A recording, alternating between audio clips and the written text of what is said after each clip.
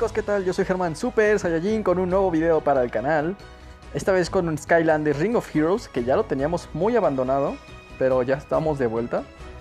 eh, después de un buen tiempo. Esta vez con un video de qué es lo que se debe hacer diariamente. Además, pues de que vamos a hacer algunas summons, ya que tenemos varios tickets y pues vamos yendo a revisar. Bien, primero que nada, saben que siempre tendríamos que revisar aquí porque podemos comprar fragmentos de Skylanders por dinero, por gemas o por Soulstones.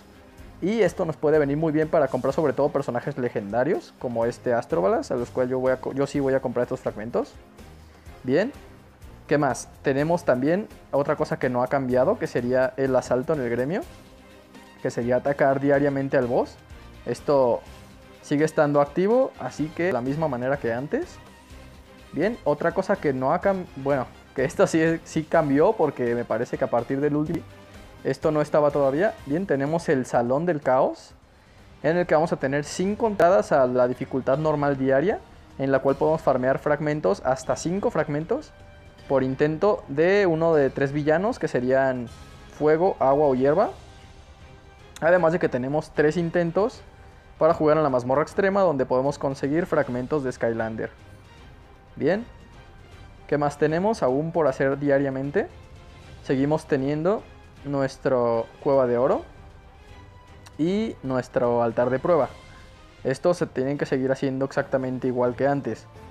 Lo que puede cambiar, ya les digo, de la última vez a esta es lo del Salón del Caos y que en la aventura cambia completamente el farmeo. Porque ahora tenemos 15 fragmentos asegurados de un Skylander. Además de que después de esos 15 se va a seguir con el sistema anterior de farmeo. Se pueden seguir consiguiendo, pero ya no es 100% asegurado. Además de que en la Stage 7 tenemos que se consiguen piedras eh, de estas Omni que puedes intercambiar ya consiguiendo varias por un Skylander de tu preferencia. Aquí ya lo decides tú. Los Skylanders que yo les recomiendo farmear ahora son Steel Elf, que está en normal, en, de la etapa 1 a la 6. Por ejemplo, vamos a seguir checando. Warm Shield, este está en la dificultad fácil. Nos va a dar poca experiencia, pero son 15 fragmentos asegurados y el personaje nos sigue sirviendo para mucho. Ya les mostraré para qué más adelante. Tenemos también eh, en esta misión a Kaboom, el cual sigue siendo súper útil. También 15 fragmentos asegurados. Y en la dificultad normal ahora tenemos a Ignitor aquí en el volcán infernal. Ya no lo cambiaron de lugar. Aquí por ejemplo normal tenemos a Shield, la cual no es muy recomendable, así que podemos pasar de ella. También podemos pasar de Gusto, por ejemplo. Y tenemos a Wingrill ahora en, la tierra de, las tierras altas. Este cambio me gusta mucho del farmeo porque por ejemplo a Wingrill, que es de viento, la podíamos farmear en el mapa de luz. Y a Ignitor lo podíamos farmear en el mapa, me parece que de magia o algo así. Bueno, no me acuerdo en cuál, o en el de oscuridad, algo así medio raro. El caso es que no estaban de acuerdo a su elemento y ahora sí, así que es más fácil encontrar al Skylander que tú buscas porque ya directamente te vas al elemento y es el tipo de personaje que vas a conseguir. Así que lo hicieron mucho más intuitivo. Aquí no recomiendo de la etapa fácil porque este personaje Rocky Roll es de los peores del juego. Pero en la dificultad normal tenemos uno de los mejores soportes que es Flashwing, igual 15 fragmentos asegurados al día que deberías ir a buscar. Además en la etapa 7 tienes omnigemas de ataque, las cuales te pueden servir también. Así que puedes considerarlo. Las de soporte son las únicas que yo no sacaría. Porque me parece que lo único viable que podríamos sacar ahí sería, por ejemplo, el jitomate. Pero a él también, además de poder farmearlo, eh, podemos comprar sus fragmentos en la tienda de gremio. Así que tampoco es muy difícil de conseguir. Bien, otro que podemos hacer también es muy recomendable. Nuestro boomer, a pesar del nerfeo que se llevó hace algunos parches, sigue siendo muy bueno. Este no lo recomiendo para nada. Bien, ah, me refiero al, fácil, por si solamente lo están escuchando. Chopper, nunca hay que farmearlo. Spyro en la dificultad fácil. Eh, aquí lo malo es que no es muy rentable farmear en la dificultad fácil, como ya saben, porque dan poca experiencia y dinero. Pero el personaje es un personaje que a mí me gusta mucho y es muy icónico, así que si les gusta, adelante por él, pero no es prioridad, ya que realmente no nos va a servir para pasar algún evento difícil del juego, así que podemos prescindir de él. Y en la dificultad normal tenemos a Ninjini, la cual es más útil, Y pues yo diría que sí deberían de farmearla, sobre todo ya cuando ya tienen a varios Skylanders. Eh, lo difícil lo voy a mencionar más adelante, ¿bien?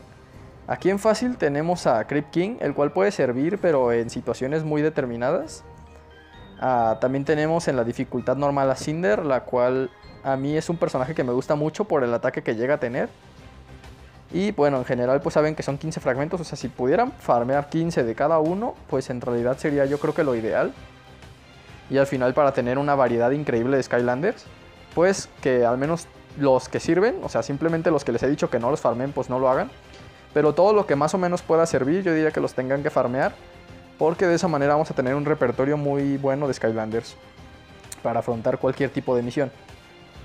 Bien, y ya lo que sería la etapa 9 y 10 me parece que son solo para farmear las omnigemas. O sea, aquí lo que nos conviene farmear más sería el piso 7, en el que estaríamos obteniendo las omnigemas de héroe, que son las de rareza de Skylanders de 4 estrellas.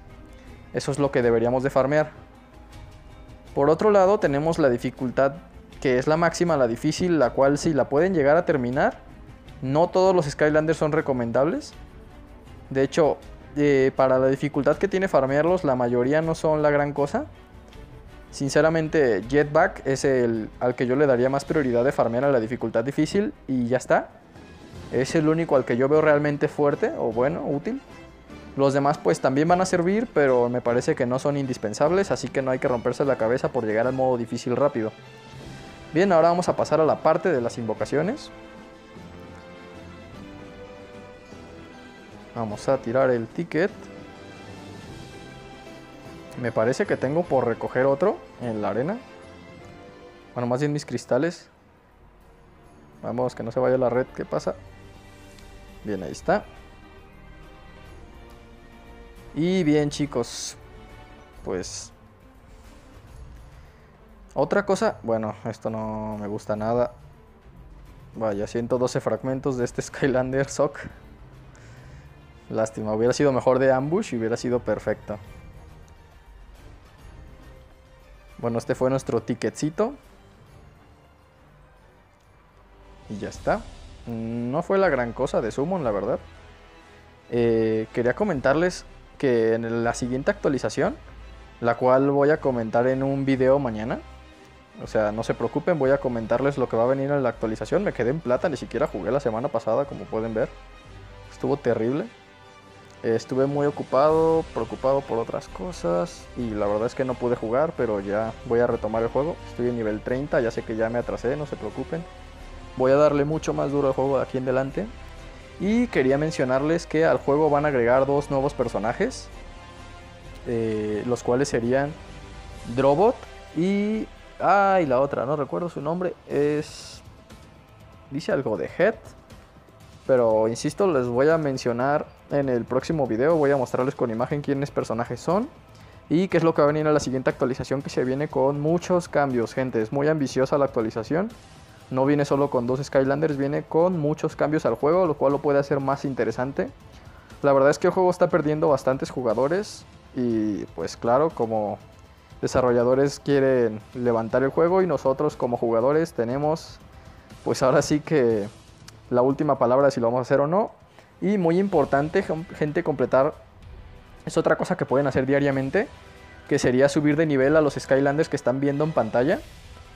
Porque cuando los llevemos al nivel que nos piden, 40, 50 y 60 respectivamente, vamos, nos van a dar 250 fragmentos de un Skylander de 5 estrellas, con lo cual prácticamente estaríamos a un paso de hacerle el Awaken a un personaje de 5 estrellas.